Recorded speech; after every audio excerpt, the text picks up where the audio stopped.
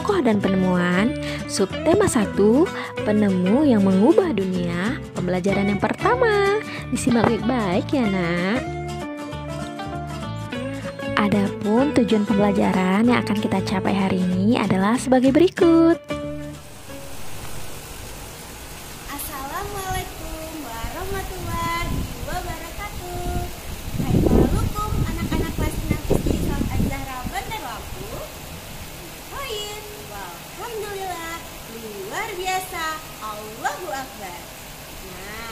Pagi hari yang cerah ini kita ketemu lagi dengan Umi Ida dalam pembelajaran tematik. Yuk kita masuk ke dalam kelas untuk belajar.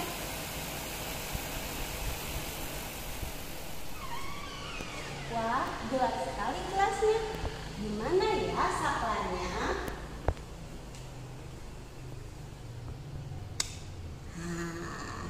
Alhamdulillah terang. Nah, anak-anak ini tadi di luar kita terang karena bantuan cahaya matahari. Namun, ketika di dalam ruangan gelap, jika tidak ada cahaya, maka mata kita sulit melihat benda-benda yang ada di sekitar. Maka kita butuh bantuan cahaya untuk melihat benda-benda yang ada di sekitar kita. Nah, lampu merupakan salah satu contoh benda yang dapat menerangi mata kita untuk melihat benda-benda. Nah, tentu kalian tidak asing bukan melihat lampu bohlam baik itu di jalan raya, di rumah, di kamar, atau di mana pun kalian berada. Tahukah kalian siapa penemu lampu bohlam? Ayo, masih ingat tidak? Iya, benar. Lampu bohlam ditemukan oleh Thomas Alva Edison. Selain Thomas Alva Edison, ada tiga ilmuwan lainnya loh yang menemukan lampu bohlam, yaitu Warren Delac, kemudian ada Ed Rudolph, dan Wei Swan. Ketiga penemu tersebut berhasil menemukan lampu bohlam. Nah, kita harus berterima kasih kepada para ilmuwan yang sudah menemukan pencahayaan di waktu gelap. Nah, untuk lampu itu tidak bisa hidup tanpa dialiri arus listrik. Nah, rangkaian listrik itu memiliki uh, komponennya. Nah, ada tiga komponen. Yang pertama adalah sumber listriknya, kemudian konduktor listrik, dan yang jelas adalah alat listrik. Seperti tadi contohnya adalah saklar. Fungsi saklar yaitu untuk memutuskan dan menyambungkan aliran listrik. Nah, mari kita simak video pembelajaran berikut ini tentang aliran listrik atau rangkaian listrik. Menurut kalian, manakah yang lebih nyaman belajar dengan diterangi lilin atau lampu listrik? Apakah keberadaan listrik bermanfaat bagi kalian? Nah, anak-anak, di video kali ini kita akan mempelajari listrik. Listrik adalah energi yang sangat dibutuhkan masyarakat saat ini. Dari manakah listrik dihasilkan? Listrik dihasilkan dari pembangkit listrik. Tahukah kalian apa itu pembangkit listrik? Pembangkit listrik adalah alat yang digunakan untuk menghasilkan listrik atau daya listrik dalam skala besar dengan menggunakan berbagai macam tenaga atau sumber energi. Ada beberapa pembangkit listrik di Indonesia, di antaranya pembangkit listrik tenaga uap atau PLTU, pembangkit listrik tenaga nuklir atau PLTN, pembangkit listrik tenaga surya atau PLTS, pembangkit listrik tenaga gas atau PLTG, pembangkit listrik tenaga air atau PLTA, dan lain-lainnya. Nah, anak hebat dalam pembangkit listrik itu terdapat generator yang dapat menghasilkan arus listrik. Arus listrik yang dihasilkan oleh generator kemudian didistribusikan melalui gardu-gardu listrik dan kabel listrik ke berbagai daerah hingga sampai ke rumah penduduk, perkantoran, perindustrian, dan tempat lainnya. Setelah sampai di rumah-rumah penduduk dan tempat lainnya, listrik akan mengalir melalui rangkaian listrik. Rangkaian listrik adalah susunan komponen-komponen elektronika yang dirangkai dengan sumber listrik menjadi satu kesatuan yang memiliki kegunaan tertentu. Ayo kita sebutkan bagian-bagian yang terdapat pada rangkaian listrik. Pertama, sumber listrik, yaitu benda-benda yang dapat menghasilkan arus listrik. Contohnya, baterai, akumulator, generator atau genset, dan lainnya.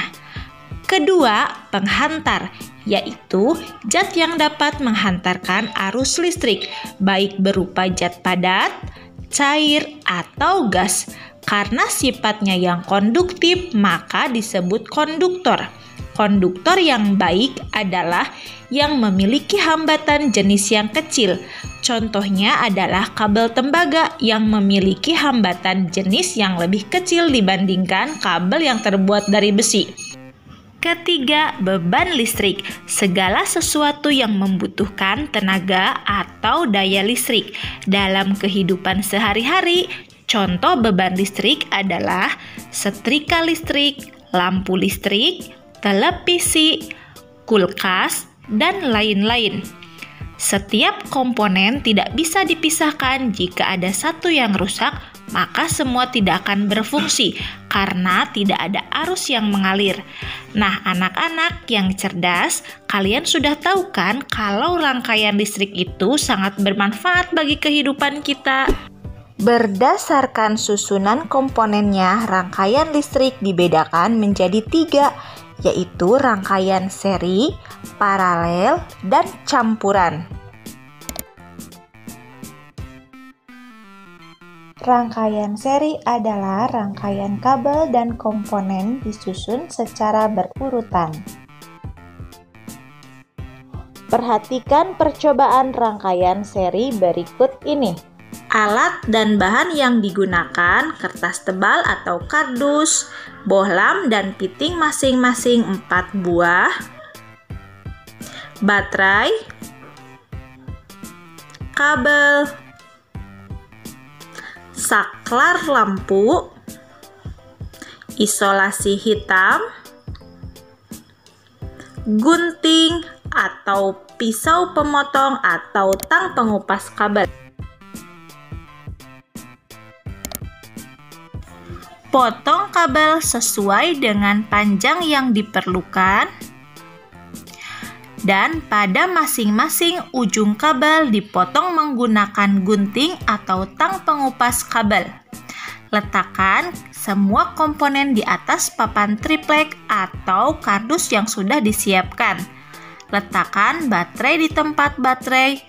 Letakkan bohlam pada masing-masing piting Kemudian, sambungkan masing-masing titik lampu dengan kabel yang sudah disediakan. Maka lampu akan saling terhubung satu sama lain oleh rangkaian kabel. Untuk menambahkan saklar pada rangkaian seri, potonglah tengah kabel antara lampu bohlam yang pertama dengan baterai. Lilitkan kabel pada salah satu ujung saklar. Setelah itu, sambungkan kabel dari bohlam ke kutub positif baterai dan kutub negatif baterai. Sampai di sini, rangkaian lampu sudah selesai.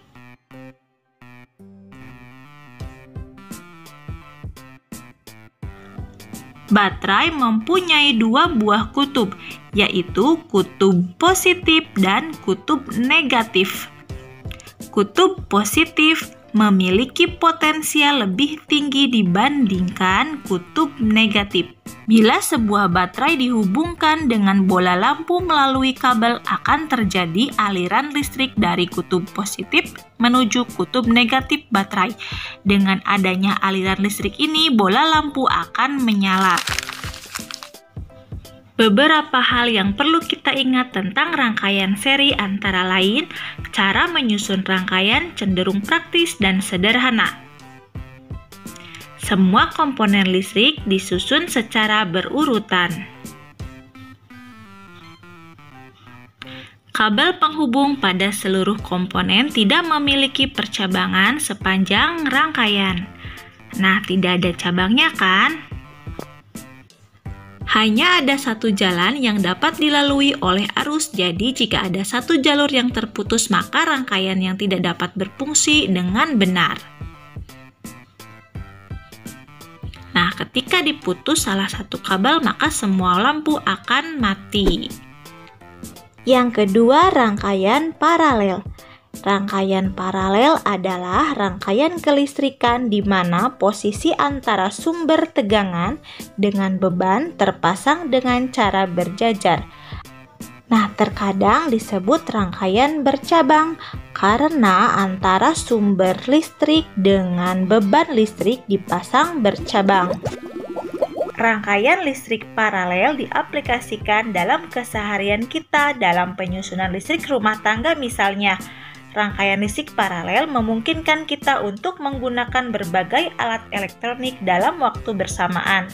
Merangkai rangkaian listrik paralel alat dan bahan, tiga buah baterai, bohlam kecil,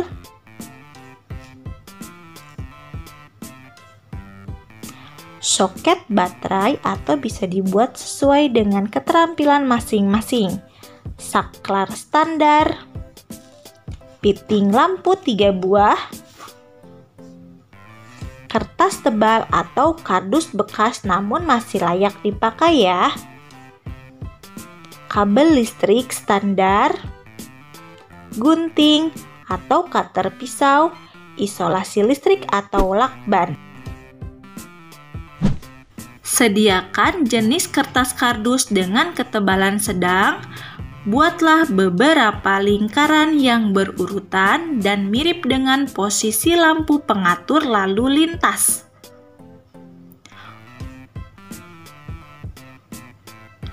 Untuk mengawali di dalam membuat rangkaian paralel pada lampu, silahkan kamu susun baterai pada soket atau tempat baterai. Hubungkan satu konektor kabel ke salah satu kutub baterai misalnya adalah kutub negatif. Maka, rangkaian paralel sudah selesai. Tekan saklar untuk menyalakan masing-masing lampu. Apa yang terjadi ketika kabel nomor satu kita putus? Wah, ternyata lampu 2 dan 3 tetap menyalakan dan lampu satu padam. Kita hubungkan kembali ya kabelnya Percobaan berikutnya kita lakukan pemutusan di kabel nomor 2. Apa yang terjadi?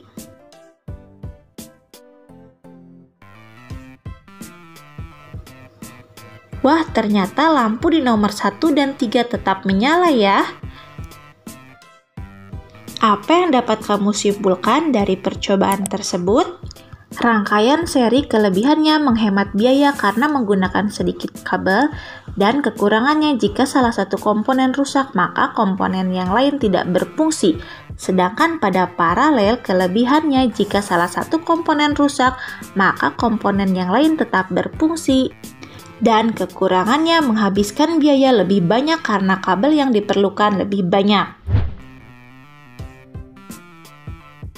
Rangkaian listrik campuran merupakan rangkaian listrik gabungan dari seri dan paralel. Contoh rangkaiannya seperti pada gambar. Nah, bisa kita amatikan. Nah, sekarang coba amati lingkungan sekitarmu. Temukan sebanyak mungkin pengaruh listrik dalam kehidupan di bidang sosial dan budaya di lingkungan tempat tinggalmu tuliskan dalam peta pikiran berikut.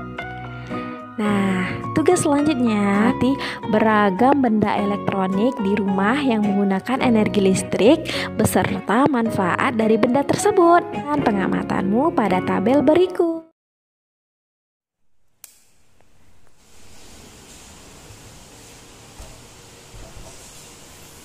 Nah, sekian pembelajaran kita hari ini. Mudah bukan? Semoga anak-anak ini dapat memahaminya tentang siapa itu tadi penemu lampu bohlam, kemudian rangkaian listrik itu ada apa aja, dan komponen-komponennya itu apa saja. Nah, cukup sekian pembelajaran tematik kita hari ini. Semoga bermanfaat buat kalian. Jadilah cahaya